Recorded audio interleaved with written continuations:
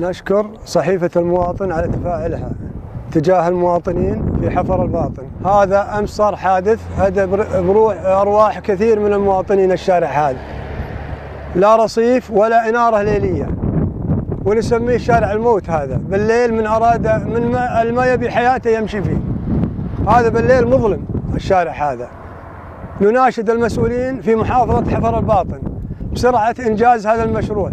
ووضع الأرصفة والعلامات الدالة على التقاطعات والمطبات الصناعية. مطبات صناعية أمس وضعوها.